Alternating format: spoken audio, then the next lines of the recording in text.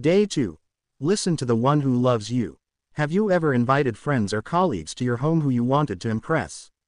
Your expectations felt so high that they became impossible to meet.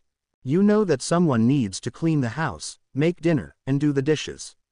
And it's usually you. It's easy to get caught up in all of this work.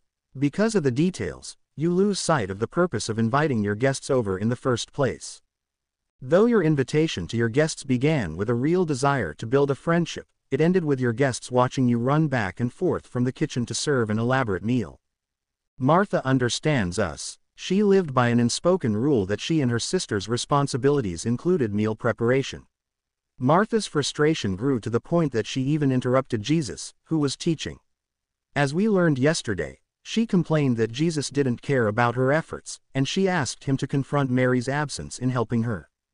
Can you relate to Martha's frustration, getting so upset